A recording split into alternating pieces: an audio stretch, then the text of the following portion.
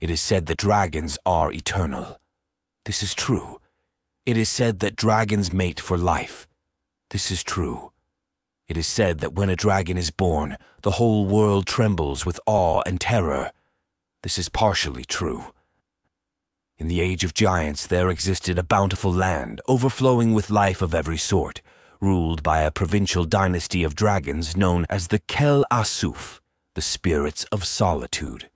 Foremost among these powerful tyrant lizards was Cain, eldest scion of the clan's reigning patriarch, Zar, and greatest of his generation, bar none.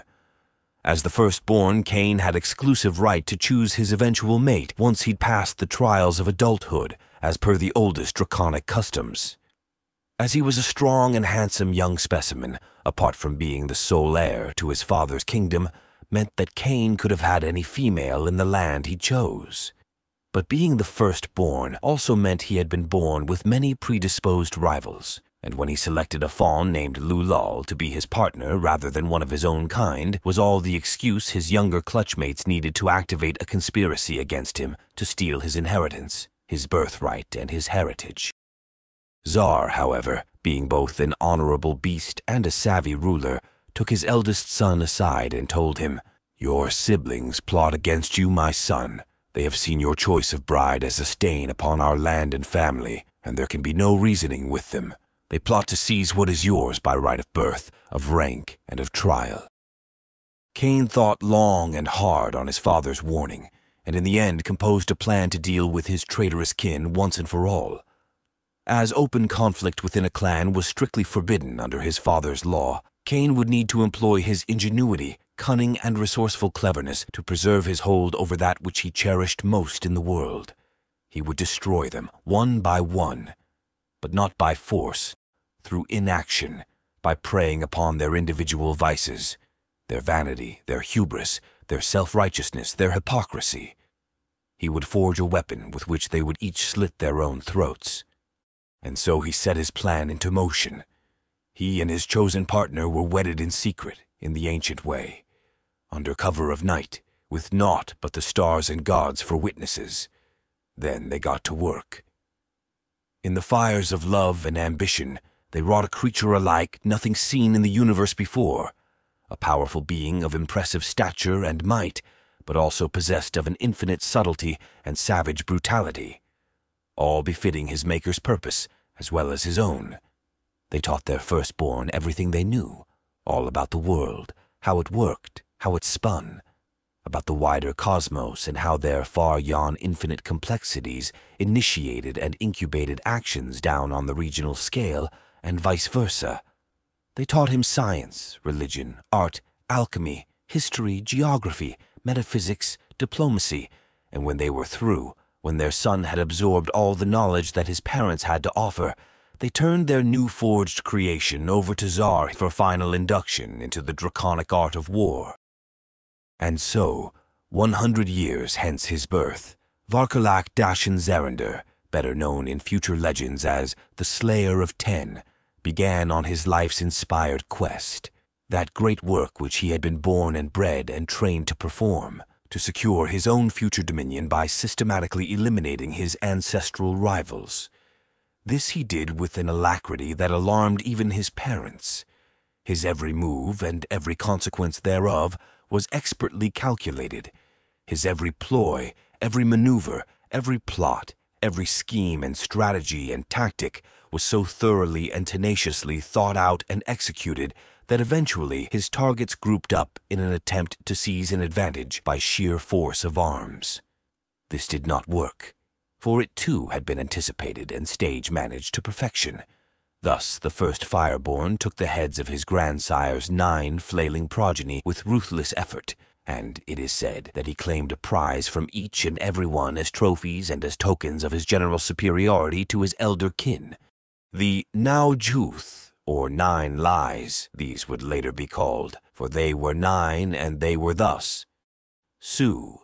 From his father's nearest sibling he stole a single fang, from which he forged a dagger whose hilt he carved in the likeness of his father in honor of his own greater martial prowess. Sith. From the next born he took ten claws, which he fashioned into twin gauntlets, symbolizing his greater courage and ferocity. Nemesis. From the third, he stole the makings of wings and made them into an unassuming cloak, taking it as a symbol of his higher ambitions and vaster intellect. Vorpa. Fourth, he took a single bone, from which he fashioned a sword of surpassing sharpness and heft, whose blade he patterned with floral vines, and whose pommel he carved in the likeness of his mother, brandishing it in honor of his greater foresight, cunning, and wisdom. Lobo. Fifth, he stole his target's own face, sheathing its portion of skull in a house of alchemically automatic necromium, and from this fashioning a mask symbolizing his absolute mastery over all the arts of both life and death. Vulcan. From the sixth he obtained a coat of impregnable scales, from which he fashioned a suit of adamantine armor, symbolizing his invulnerability. Lucien. Seventh, he tore a strand of sinuous fiber from his fallen elder's tail. With it, he wove an unbreakable whip to symbolize his superior tact and guile. Urmagans. Eighth, he won a prized horn from the defeated Arch-Echelon commander. This he enchanted to spew unending torrents of ethereal fire upon the wielder's will. He'd called this proof of his absolute authority over mind, matter, and over the very forces of nature itself. Jormunjaba. Ninth, he surgically extricated his final target's atlas vertebra, from which he made a pair of goblets, one for himself, the other for his own chosen wife, to thoroughly proclaim his abjectly advanced nature over those of his more bestial patrilineal kindred.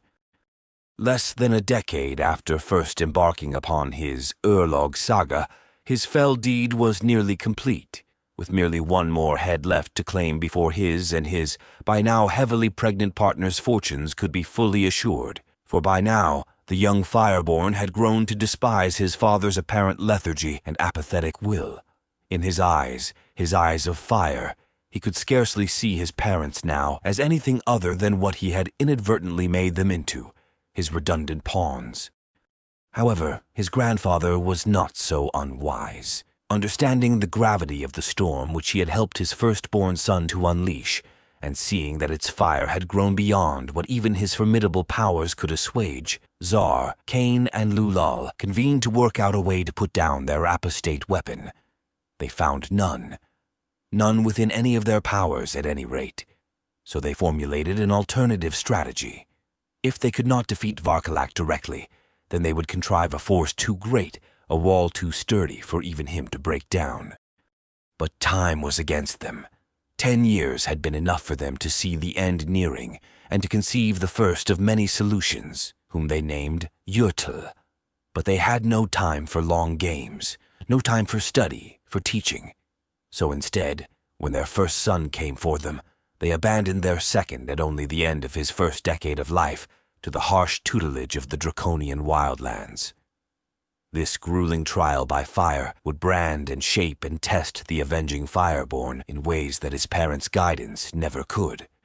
Their retribution would come swiftly, at the end of their favorite killer's favorite weapon, his own two hands.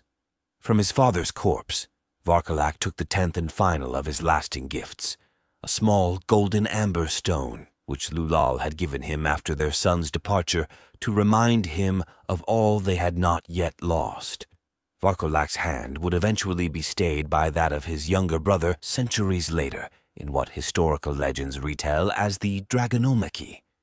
But that is a tale for another time.